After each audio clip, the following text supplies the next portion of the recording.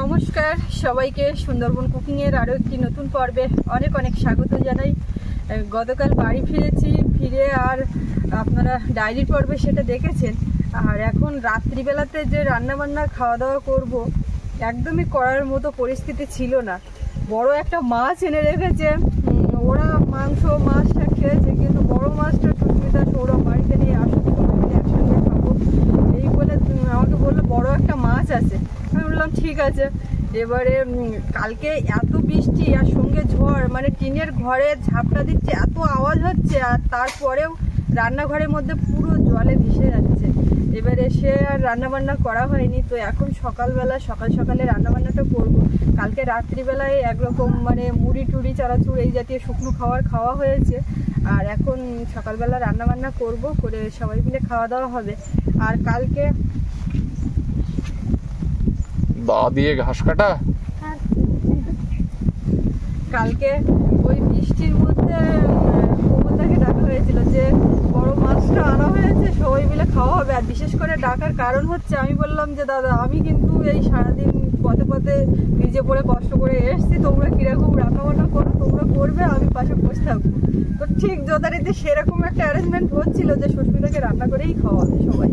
তো সেটা আর বলো না, আসলে কপালে না থাকলে যেটা হয় আর এখন যাবে বিনা পানি। দরকার আছে, বিশেষ দরকার এবং সেটা যাওয়ারও প্রয়োজন। তো আমি রান্নাবান্না করে খাওয়াই, পরে কোনো একদিন খাওয়াবে, সেটাও আপনারা দেখতে পাবেন আর আমিও খেতে পারব। তো কালকে রাত্রিবেলায় এমন পরিস্থিতি হলো, দাদাই বলছে, বলে কি, এই পরিস্থিতির মধ্যে আর রান্নাবান্না করতে হবে না, তোমরা রেখে দাও, কালকে ঠান্ডা মাথায় করো। ঠান্ডা মাথায় আর কি করব? সে সকাল থেকেই ধরছে না, এখন একটুখানি করে হচ্ছে বটে, কিন্তু টানা আর ওয়েদারও সেরকম ভালো না।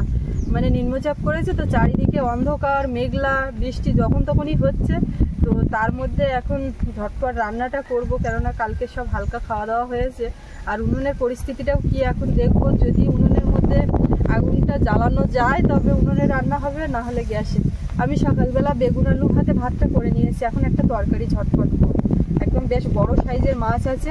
তো আপনারা সম্পূর্ণ পর্বটা সঙ্গে থাকুন। আশা রাখছি ভালো লাগবে। আর এখনও যারা আমাদের চ্যানেলটি সাবস্ক্রাইব করেনি প্লিজ চ্যানেলটি সাবস্ক্রাইব করে সবাই পাশে থাকবেন। সাথে থাকবেন আর আগের দিন ডায়েরিতে যে মাছ ধরার পর্ব দেখিয়েছিলাম নদীতে চিন্তা করছিলাম যে জাল বেঁধে গেছে, জালটা ওঠেনি জালটা কি করে উঠবে? এই জালে যে বড় মাছটা পড়েছিল, সেই মাছটাই আমি নিয়েছি। আমি মাছটা নিয়ে আসছি হ্যাঁ নিয়ে আসো। ঘরের মধ্যে ঘরের মধ্যে ঢুকবো মানে অন্ধকার। লাইট দু চারটে জ্বেলে দিলেও কাজ হচ্ছে না। কেননা সব দিক দিয়ে বন্ধ করে। আর বাইরেও তো কোনো আলো বাতাস সেইভাবে নেই।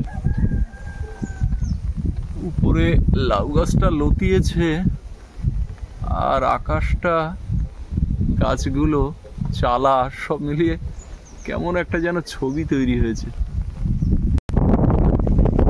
এই হচ্ছে মাছ। এটা এখন জলের মধ্যে দিতে হবে পুরো শক্ত হয়ে আছে। ওই যে বড় জাল যেটা বেঁধেছিল সেই জালে এই মাছটা উঠেছিল। আমি বলে এসেছিলাম বড় মাছ পড়লে বলো।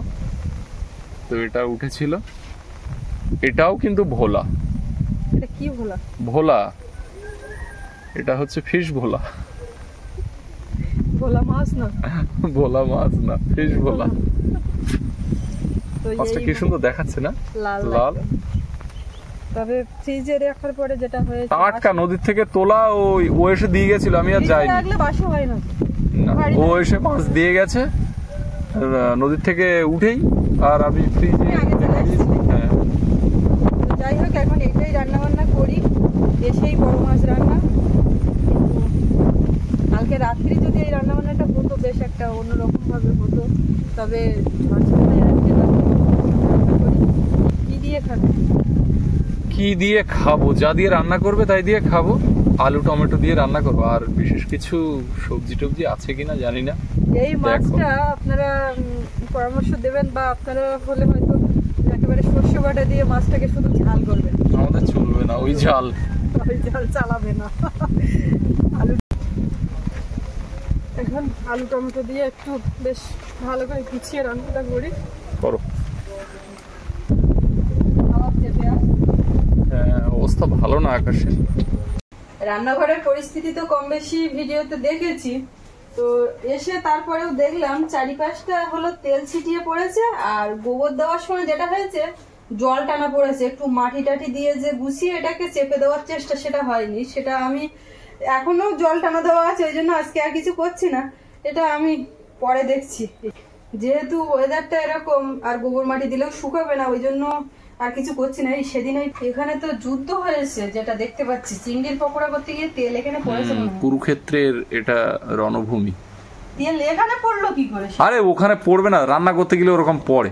হ্যাঁ রান্না করতে গিয়ে ওখানে পরে এক দুদিন রান্না করেছে একটুখানি হাতের উপরে আবার ফসটা পড়ে গেছে তেলের। তো একটু যায় তোমাদের যায় না? আমাদের যায় কিন্তু তাহলে? তোমাদের যাবে কেন? আমাদের অনেকদিন করলে সারা দেখো রান্না করে আবার এই কাঠ উনুনে দিয়ে রেখেছিলাম। বাবা সেটা আর বলতে? এই জানালা খুলে দাও। জানালার অবস্থা দেখো। জল এর ভিজে। মধ্যে বন্যা হয়েছে? পুরো স্যাঁতসেঁতে এখান দিয়ে সব জল ঝাপটা দিয়ে এই দরজার তলা দিয়ে সব ঝাপটা দিয়ে ভিজিয়ে দিয়েছে। ছাই পুরো ভিজে গেছে। এইগুলো এখন তুলে আর ওই ইয়ে করব কাঠের গুঁড়ো দেবো। দিয়ে দেখি উনুনটা জ্বালাতে পারি নাকি। জল যা আসছে কোথার থেকে বলছি, এই টিন বেয়ে পড়ছে আর ভেতর দিয়ে তলার থেকে চোখ করছে। পাইপ দিয়ে কিন্তু আসছে না। পাইপ দিয়ে আসলে তো এরকম ছিদ্র দিয়ে পড়বে, সেটা পড়ছে না, তলা দিয়ে উঠছে। এই যে তলার থেকে জল উঠছে, সব পরিষ্কার না করলে এই ভিজে থাকবে। এখন এই মাছটা কাটবো কাটতে বসছি তো মাছ কাটা প্লাস্টিক নিখোঁজ। মানে তাকে খুঁজে পাওয়া যাচ্ছে না। তো এইরকম একটা প্লাস্টিক নিয়েছি তো এর উপর তো মাছটা ধরছে না অনেকটাই বড় মাছ। আর আপনারা আমাকে দেখতে পাচ্ছেন একটু ভিজে ভিজে অবস্থায় তার কারণ হচ্ছে এই বৃষ্টির মধ্যে জাল পাতা হয়েছিল জালটা তুলছিলাম। তো একেবারে মাছটা কেটে আর কি হ্যাঁ, চান করে উঠবো। তো ওই জন্য আগে মাছটা কেটে নিচ্ছি আর মাঠে জাল পাতা, তারপরে কতটা কি মাছ পেলাম সবকিছু আপনারা ডায়েরি পর্বে দেখতে পাবেন সন্ধ্যাবেলা আর কিছুক্ষণ পরেই। তো এখন এই মাছটা কেটে নিই। আগের দিন দেখছিলাম, ভিডিওতেই দেখলাম, ও বেশ মাছ কাটলো, বেশ এইভাবে আঁশ টাশ তুলে নিল। আমার চোখটা একদম সার্থক হলো। যে আস্তে আস্তে সবকিছু শিখছে। শিখছে বলতে করলে সব কিছু করা যায়। আসলে আমি থাকি, করতে লাগে না। তো না থাকার ধরুন দেখলাম যে পারবে। এই মাছ কেটে কালকে রাত্রি ওরা রান্না বান্না করবে। বলল আমি রান্না করে খাওয়াবো। সেরকমই একটা ছিল। তো সে রাত্রি আর হয়নি। আর এখন ওই কাজে বেরিয়ে গেল একটা দরকার। না গেলেও হবে না। আমি এই কেটে কুটে রান্না করি।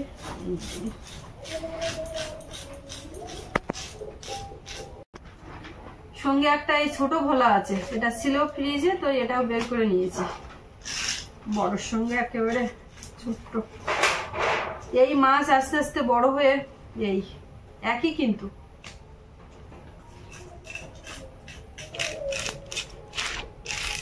আঁশটা প্রথমে তুলে নিই। আমি এরকম করে করে তুলি, আঁশটা সব দেখেছে, দেখে শুনে মাথায় আছে সেইভাবে সেইভাবে করেছিল।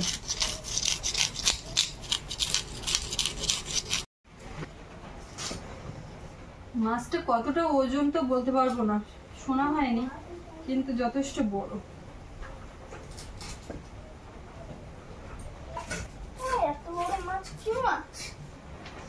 এত বড় মাছটা হচ্ছে ভোলা মাছ। ভোলা মাছ? ভোলা মাছ দিয়ে? হবে আলু টমেটো দিয়ে করতে বলল বাবা তুমি বাড়ি ছিলে না বলে এই মাছটা রান্না হয়নি জানো সেটা? বাবুর মাছে অত ইন্টারেস্ট নেই নাকি? ভোলা মাছ এটা কিন্তু একজনের নাম জানো তো?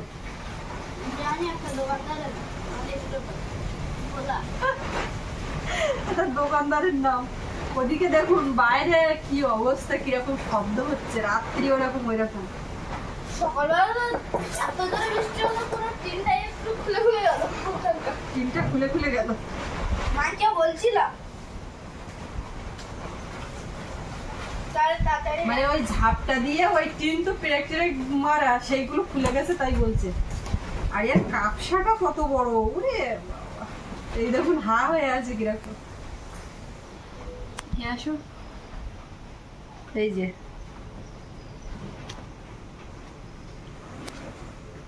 কিচ্ছু নেই পেটের মধ্যে।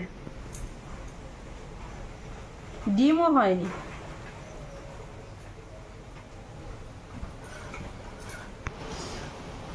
পেটিটা মাঝখান থেকে কেটে নিচ্ছি না হলে এমনি ভাজার সময় ইয়ে হয়ে যায়, হা হয়ে যায়, খুলে যায়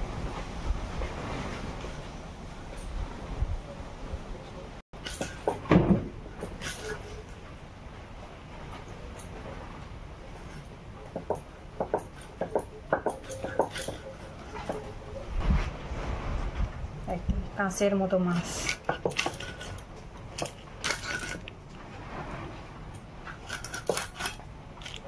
এইটা কিন্তু সেই মাথা মোটা ভোলা বলা যেতে পারে।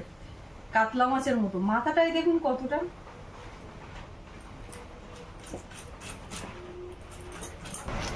মাথাটাকে একেবারে কেটে ছোট করে ফেলে ফুলকোটা দেখুন টকটক করছে লাল একদম। সবকিছু গুছিয়ে নিয়ে চান্দান করে এবার রান্নার দিকে আসলাম। আর উনুনটা গোবর দেবো না দেবো না করতে করতে আবার একটু লেপে নিলাম। না হলে ঠিক মন উঠছিল না যে ওইভাবে ওই উনুনে রান্না করব। তো করে নিলাম, নিয়ে উনুনটা জ্বালানো হলো। তো যেই কড়াইটা একেবারে বসিয়ে দিচ্ছি, পুরো সঙ্গে সঙ্গে নিভে যাচ্ছে। একটুখানি ঝাল তুলে দিলাম, এই আগুনের আঁচ বেরোচ্ছে, অসুবিধা হচ্ছে না, মনে হচ্ছে রান্না হবে। কেননা প্রচণ্ড হাওয়া হচ্ছে। এই শোনা, ওই দেখ, গরু ঢুকে যাচ্ছে। হ্যাঁ ষাঁড় বোধহয় থাকবে একটু ভালো বলে তাড়ি দিতে হবে। আমি ষাঁড় দেখে পাবো না ষাঁড়। দেখো। তো দিব্যি ঘাস খেতে খেতে ঢুকে যাচ্ছে। আস্তে বেশি ইয়ে করো না যেন।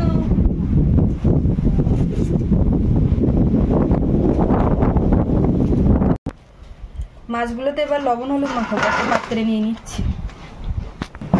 লবণ দিলাম। আর হলুদ গুঁড়ো। এই মশলা আমি এখন এই মাছে দিতে গিয়ে হাসি পাচ্ছে, তার কারণ জিরে গুঁড়ো, ধনে গুঁড়ো গুলিয়ে ফেলেছে। কোনটা কি গুঁড়ো? সব রকম তরকারিতে তো পড়েছে, অসুবিধা হয়নি। এখন কোনটা কি সেটাই এ করছিল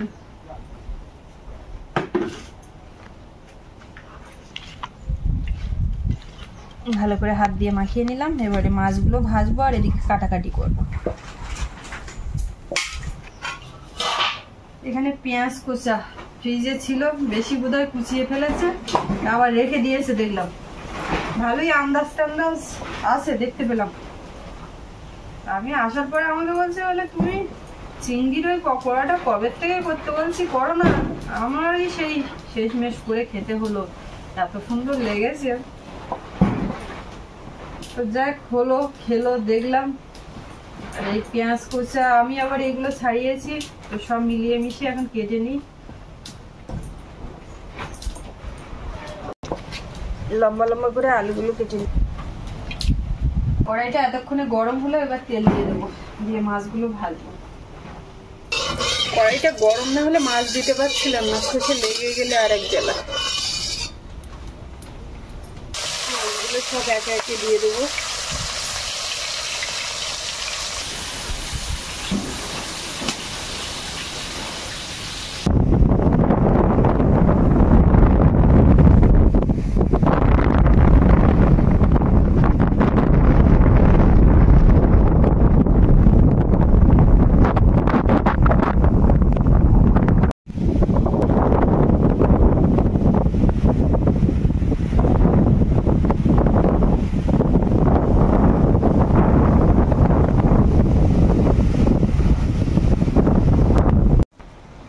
বাইরে এত পরিমাণে ঝড় হাওয়া হচ্ছে, ঝোড়ো হাওয়া, এখানে রান্নার মতো কোনো পরিস্থিতি নেই। এখন গ্যাসে নিয়ে যাচ্ছি। চাইছিলাম যে একটু কাঠের জালে রান্নাটা করতে, কেননা এই বর্ষা কাদার মধ্যে গ্যাস কখন শেষ হয়ে যায় সে উপায় নেই।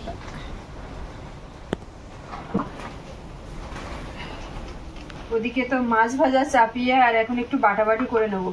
একটু জিরে আর সর্ষে একসঙ্গে বাটবো।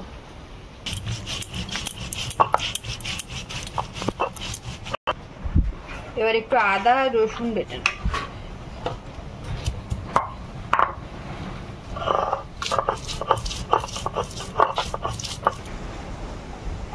টমেটো আর কাঁচা লঙ্কাটা কেটে নিয়ে ওখানে রান্নার ধারে যাব, তাহলে সব রেডি হয়ে যাবে। মাছগুলো সব ভেজে তুলে নিলাম, এবারে একটু আলুটা ভেজে নেব। এতক্ষণ কতবার রান্না হয়ে যায়? ও সেই গ্যাসটা তারপরে চলেও এসছে, একটু সময়ও গেল কিন্তু। আর গ্যাসে যদি তাড়াতাড়ি আরও আগে নিয়ে আসতাম, সেই নিয়ে আসতে হতো এতক্ষণ হয়ে যেত। এসেই বলছে, খিদে পেয়েছে, এখনও হয়নি, আমি বলছি, হয়ে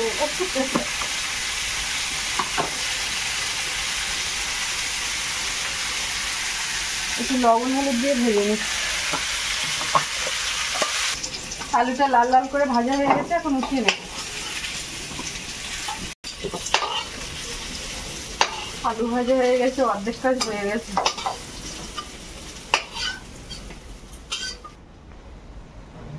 কড়াইতে আবারও একটু তেল দিয়েছি। আর আগে সে ওদের কুচিয়ে রাখা পেঁয়াজটাই দিলাম, আজকে আর পেঁয়াজ দিলাম না, এই যা খেতে হয়ে যাবে। আর আদা রসুন বাটা দেবো।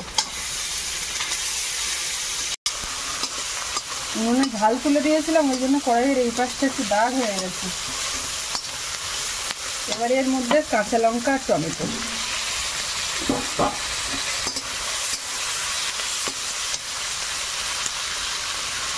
লবণ দিয়ে দেবো। আলুতে লবণ দিয়েছিলাম, সেই বুঝে দেবো হলুদগুলো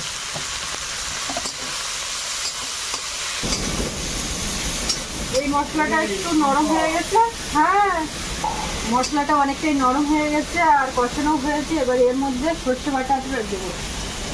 এর মধ্যে এখন এই সর্ষে আর জিরে বাটাটা দিলাম। এইভাবে করে এই মাছগুলো দিয়ে মাছের ঝাল করলে ভালোই হতো। কিন্তু সেটাতে তো আমার কষ্টমশাই হবে না। দরকার আলু দিয়ে মাছের ঝোল। আলু হোক, কচু হোক বা কুমড়ো হোক, পটল হোক, বেগুন, যাই কিছু সবজি দিয়ে রান্না করলে তবে ভাত খাওয়াটা এগোবে। আর মাছের এই শুধু ঝাল ঝোলটা ঠিক পছন্দ করে না। কোনো অনুষ্ঠান বাড়িতে গেলে সেখানে দিলেও কিন্তু ওই মাছের ঝোলটা ও খায় না। মশলা তো একদম রেডি এবারে আলুতে দেবো। আলুর সঙ্গে মশলাটা মিশিয়ে আরও একটুখানি কষিয়ে নেব। এবারে এর মধ্যে জল দেবো। আর বাইরে যে ঝড় হচ্ছে, শব্দ হচ্ছে, এই টিন টিন বাড়ি খাচ্ছে। সেই রিভেল ঝড়ের মতো যেন মনে হচ্ছে যে সারাদিন এরম হচ্ছে, রাত্রিবেলায় জোরে আসবে। শব্দ আজকে একদম হালকা করেই হচ্ছে।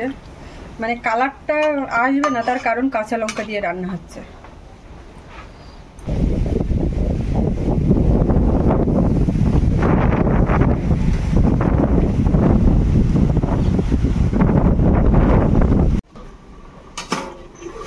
কিছুক্ষণ ফুটে গেছে, এখন ঢাকাটা খুলে দেখব কি অবস্থা। আলুও সেদ্ধ হয়ে গেছে। এখন এই ভাজা মাছগুলো সব দিয়ে দেবো। এই তরকারির মধ্যে একটু চাইছিল ধনে পাতা কুচি। নদীর মাছে, নোনা মাছে একটু ধনে পাতা দিয়ে রান্না করলে বেশ ভালো লাগে।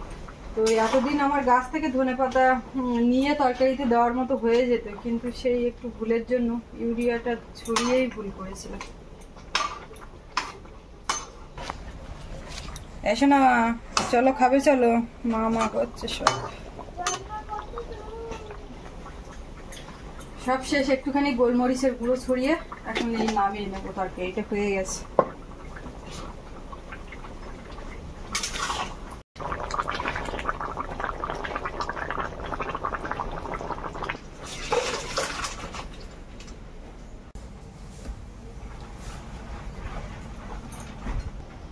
ভাত বেড়েছি, এখন বেগুন আর আলুটা মাখা করব। ভাতে দিয়েছিলাম একদম গাছের কচি কচি বেগুন।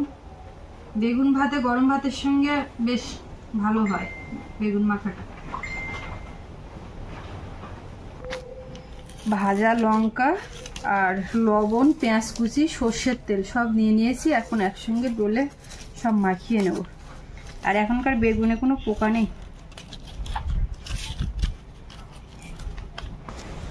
এই শোনা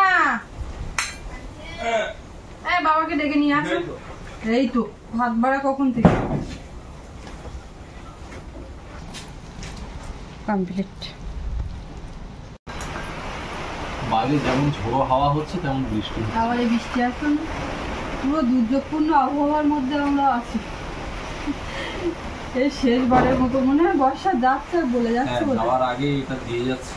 আর বড় নিম্নচাপ হবে না আশা করি।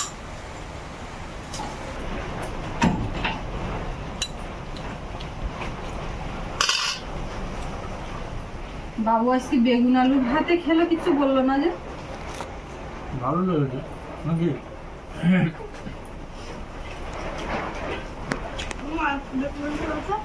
আর পেয়ে দেবো?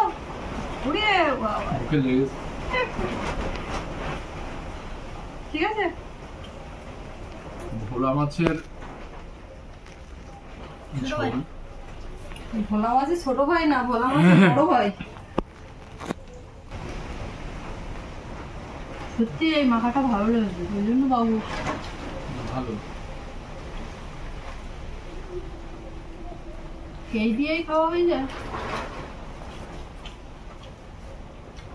আর সত্যি ভোলা মাছের ঝোলটা ভালো লেগেছে।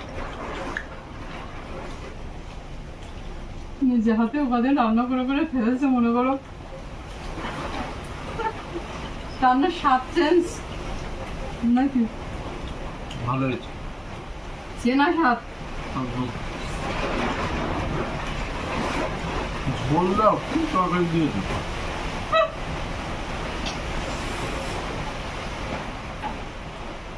ভাত ও মাখাতে পারছে না ঝোল না হলে। হুম। দিনামানি কোমলটা বললাম। হ্যাঁ আমি তো বললাম যে দাদা আর সে রাত্রিবেলায় রান্না হলো না। রাত্রি বলছে এই বৃষ্টি হচ্ছে জল ঢুকেছে এই এত শব্দ হচ্ছে। আর এত রাত্রি হয়ে গেছে এখন আর রান্না করতে হবে না।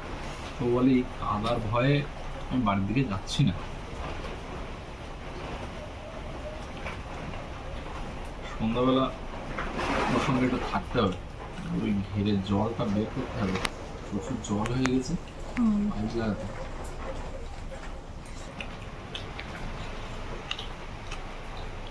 টাটকা ভোলা দাদু স্বাদ। এই যাব যাব যাব যাব যাব এরকম আমি তো ভোলা মাছ কখন যাবে তো বলছে যাব যাব। এই একটা ভোলা মাছ বুঝলে ছোট হুম। এইটা সেই এইখানে তুমি পেয়েছিলে না? নদীতে জাল ফেলতে গিয়ে। অনেক এখানে না নৌকা নিয়ে যেতে গেছিলাম হবে বোধ হয় অনেকদিন হয়ে গেছে। নোনা মাছের স্বাদ একটা আলাদা। দারুণ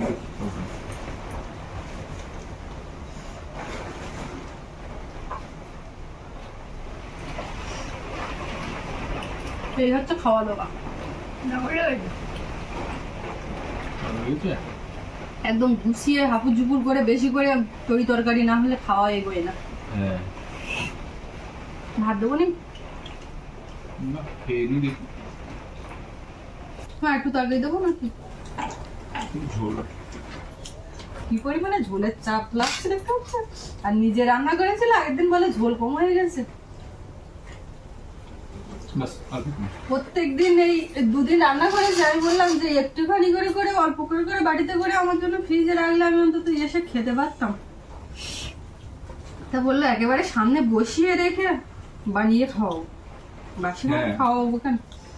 আমি একটা জিনিস কোমলকে বলছিলাম দেখ এই যে রান্না করছি তো ও এসে বিশ্বাস করব না যে আমি রান্না করেছি। ও বলবে একটুখানি ক্যামেরার সামনে একটুখানি করেছে। না না। না, অতটা বিশ্বাস করব না। আমি তো পুরো দেখেছি বান্না না মানে এমন একটা ধারণা জন্মে গেছে যে ও পারবে না। আমি না আমি না থাকলে ও খাবে কি করে? এই চিন্তা করতে করতে ওরা কোথাও গিয়ে থাকা হয় এটা একদম ঘটনা। তো যাই হোক চিন্তামুক্ত অসুবিধা নেই আপনারাও দেখলেন। আর আমাদের আজকে তুমি চলে যাব।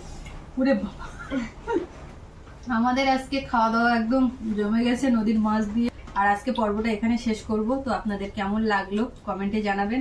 আর সবাই ভালো থাকবেন। দেখা হচ্ছে আগামীকাল। আর এতক্ষণ সাথে থাকার জন্য সকলকে অনেক অনেক ধন্যবাদ।